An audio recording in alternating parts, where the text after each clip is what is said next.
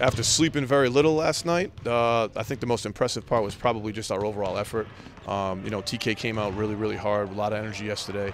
Uh, Rickey played with a lot of energy. It didn't show up in the in the statistics for him scoring wise, but he played really hard. And uh, we knew it was going to be a battle, um, so we just kind of uh, just rolled with it and, and stuck together. I, I, liked the togetherness we had the whole game. So uh, we're excited last night. Woke up today, and it's on to the next one. Oh, seeing Zach come back was great. I mean, he had a really good week of practice. He had some really high energy practices, maybe the best ones he's had all year.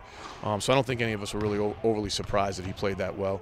Uh, and that's what he's capable of. You know, we've seen it in the league when he was in the league before. We've seen it at UMass, and we've seen it on and off during the year. And, and hopefully, consistency these last couple games will be big for him.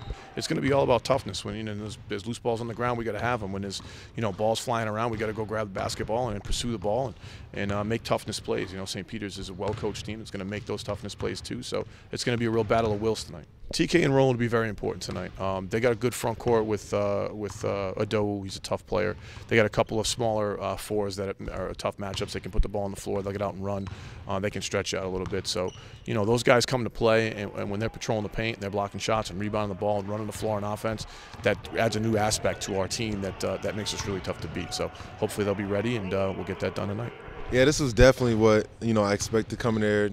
I know Iona has a good history of uh, winning the MAAC. So I know I just wanted to be a part of that and come and help and do whatever I can to help us win games and get to the next level.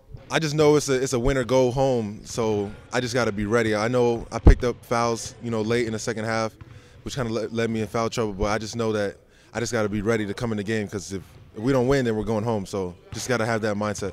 We just got to let adrenaline take over and just play with as much energy as we did uh, last night and play hard defense and just execute on offense.